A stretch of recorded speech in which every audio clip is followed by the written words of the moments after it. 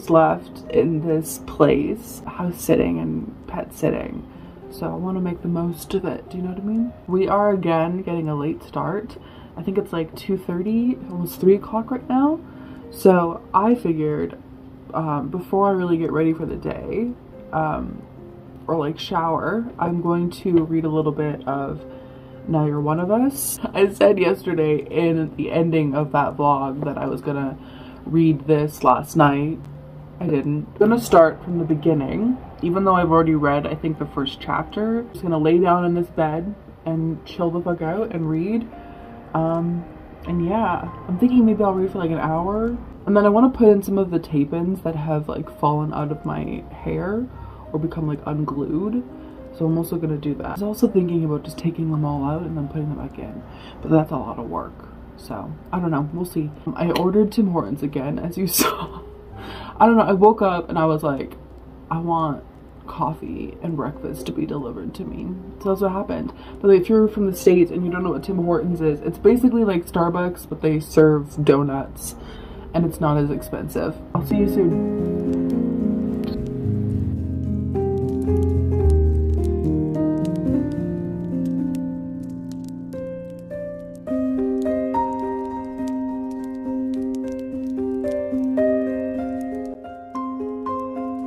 Been about 20 minutes. I've read about 25 pages. These people are so fucking suspicious. Like, first part, the first scene in the book is this guy coming up to the main character, Noriko. He's like, hey, um, you're the new wife. And she's like, yes, thank you, that's me.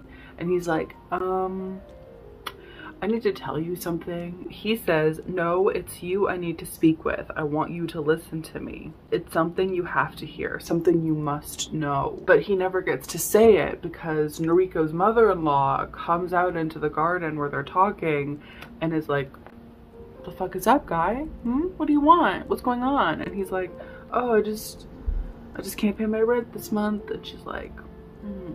And what's also strange is like, he's super, super, super terrified. Like he physically is quaking and shivering and keeps repeating, I'm sorry, I'm sorry, I'm sorry. Even though Noriko's mother-in-law is smiling, is speaking in a calm way, this man is like wetting himself out of fear. It's very strange. Before Noriko got married into this family, uh, they approached her because it was like an arranged marriage type of thing. When she heard the terms that she would have to live in a house with eight of the members of the family, she was like, absolutely not. I'm not fucking with that. I'm not doing it. No. And she meets her husband. She meets Kazuhito and he is stunning. He's gorgeous. He's like her type. She's like, oh my god, I need this man like immediately. And so like all of her logical thinking out the out the window, gone forever. Goodbye. And he's like, "Oh my god, you should meet my family." And she's like, "You know what? You're right. Maybe I should meet your family." So she meets them. She falls in love with them. The grandma tells Noriko to put her head on her lap and starts like, tapping and brushing her hair with her fucking gnarly little fingers like and Noriko is enamored with it she feels nostalgic for it. They give her all of this sweetness, all of this kindness up front, basically like love bombing her it seems. I think, this is just a theory, I think it's gonna end soon. Like it has to because there's no way it's this perfect. What was also suspicious though was that Kazuhito was like, oh, by the way, I have a brother-in-law, he's a bit disabled. Also, I have like a, a father and he's like very, very, very, very sick. Um, and she's like, what the fuck? Why didn't you tell me these things? Like, what the fuck? And he was like, he was like, you wouldn't have married me. And she's like, yeah, I wouldn't have fucking married you. Um, so that's suspicious. Why did, like, why hide them? Even though it's only been 25 pages, I really, really like this. I think it's also going to be a pretty easy book to read. Um, it flows very, very naturally. I don't think you can get uh, the physical copies anymore. I think they're out of print but you might be able to get them on ebook. I'm gonna have to look that up though. I'm gonna keep reading. Um, I'm gonna read for another 40 minutes probably and then, like I said, go take a shower. Sound good? Okay. Okay. What the fuck what the fuck is going on? What? I'm on page 42 and I knew it. Dude, this book is going to be so hard to talk about without spoilers. Something very suspicious happened, and thankfully, our main character, our girl Noriko, our spooky smart bitch Noriko, is a bit suspicious, okay? Something happens, and she's like, that's weird. Everyone is kind of acting weird. Let me go along, of course, but also maybe have my little reservations, my little doubts. And then chapter four, at the end of chapter four, what? What? No. And I, I kind of knew it. I didn't, I didn't know it, but I had the thought. Because while I'm reading it, I'm trying to think of what this could possibly mean. And I'm, and so I was thinking like, maybe it's this, maybe it's this. And what happens at the end of chapter four might be the reason. Also, I looked it up and you actually can still buy this. They're not out of print, at least on the Canadian Amazon. Maybe not the American, I don't know. I didn't check the American. But on the Canadian Amazon, you can get the paperback uh, for just like $16 or something. It's like not expensive. oh my god, dude. This is, this is wild. I really want to know what the fuck is going on. I'm, I'm thinking I could probably honestly finish this today. Also, I'm sorry, can we talk about how absolutely fucking comfortable and delightful and wonderful it is to like lay down in bed with the blankets, with your little book and just, and like put on like a little playlist and just be the most comfortable fucking being in the world. That's how I feel. I'm gonna keep reading um, and then I'm gonna, and then I'm gonna go take a shower. Like I've said a thousand times. Okay. Hi, okay. Before I went um, to take my shower, I, I left off on page 60. I'm on chapter 7. And I'm very glad so far that um, our main character, Noriko, is not a dumb bitch. This bitch knows that weird shit is going on. She sees it. She knows. So far, she's not right. She's not dumb about it. Like, she's not making it ex like exceedingly clear to the family how um, how suspicious she is. So far, all of her all of her like suspicions so far has just been kind of like luck. Like for instance, she woke up um, to see that her husband wasn't beside her anymore. And so she went to go check it out and voila, look at that. The family is having a meeting without her. So like in the middle of the night. Um, so all of these things uh, are happening because not because she's doing any like sleuthing but just because she's kind of just like luckily coming across them i'm glad that she's not like explaining it away do you know what i mean i'm glad that she's not being like oh it's probably happening because of that like she's like no some shady shit's going on. I'm gonna keep reading and I think I'm also going to go downstairs and make some iced coffee. Probably bring you along with me when I go. I'm 60 pages in and I love this. I, I want to finish this today. I'm going to finish this today. I just want to read it more and more. I'm honestly surprised also that like I'm reading it so easily. I've always kind of been like afraid that if I go back into reading books physically, my, my little bird brain can't take it. But no, I'm like, I'm flying through this. Maybe I should start reading books physically more often. Let me know actually down below if you read books physically, if you listen to audiobooks, or if you do like digital slash like Kindle. I'd love to know. Definitely an audiobook girl. I want to read more books physically. I'm gonna go make coffee.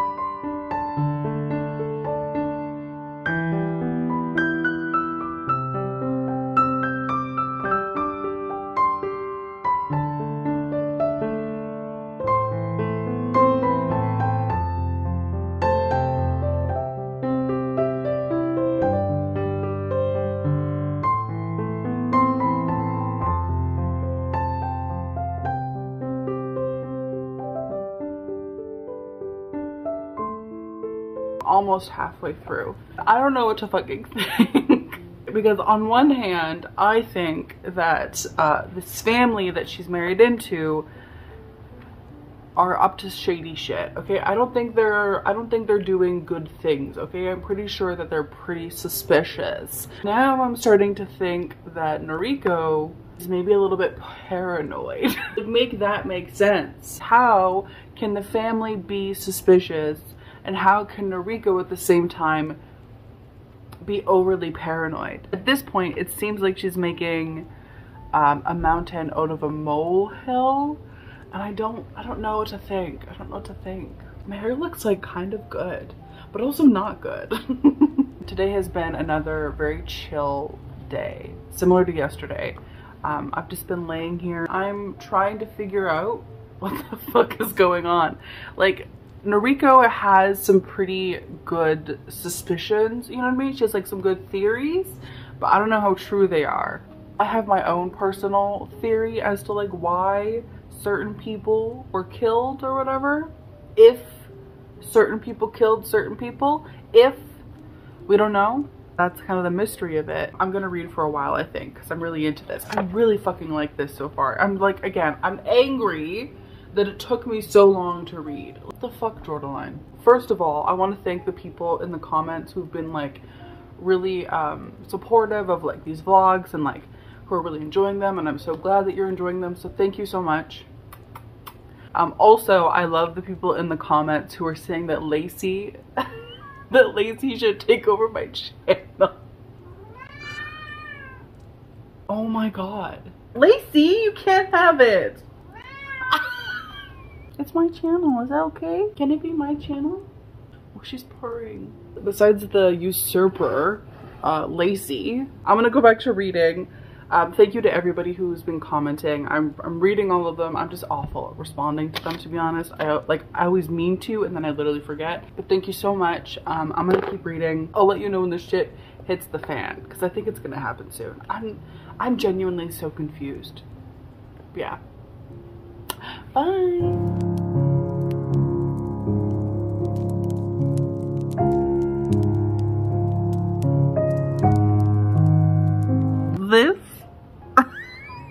This Noriko bitch has the nerve, the nerve, the audacity. By the way, look who I have again. this woman, this woman was like, I'm not gonna say what I think or how I feel. Like, I'm not gonna say how I feel about you or like what I think you're doing but I'm gonna make a fucking like shady comment about it. That's what she does uh, at the dinner table. Like they're talking about how she should have children and she's like, hmm, not right now. Like at this point, having children like disgusts her because like she's like, I don't want anything to do with this family because she's paranoid. The grandmother says like, oh, I'll give you some like fertility teas. And she says, is it made from crazy eggplant? And I know that probably makes no sense if you haven't read the book, but the fact that she said that, the fact that she said that, oh my god, the nerve, the audacity, the gall, the fucking gumption. I live. Okay, anyway, I'm gonna keep reading. I had to share that. Say goodbye, Lacey. Yeah, we're just like best friends. It's like no big deal. Uh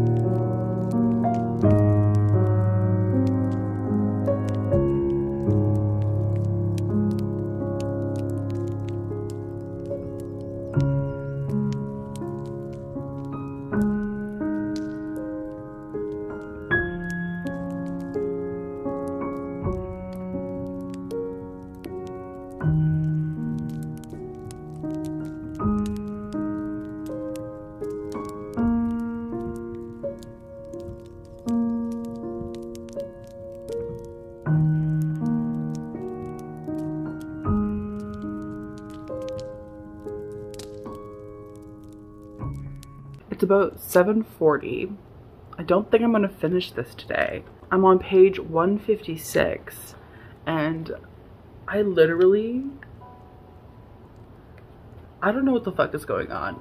I don't know what's going on in this book. I don't I don't understand. It keeps going back and forth like one moment Noriko will be paranoid. You know, she'll be like, these fucking people, I don't trust them. I don't trust them. And then they'll be like, what do you mean you don't trust us? We're like, we're so innocent. Like, let us explain everything to you. We were, we, we were just worried about you. And she's like, you know what? You're right. It's not you, it's me. I'm just crazy. It's like, whatever. And then the family's like, shady, shady, shady. And she's like, the fuck? And they're like, what do you mean? Like, it keeps going back and forth.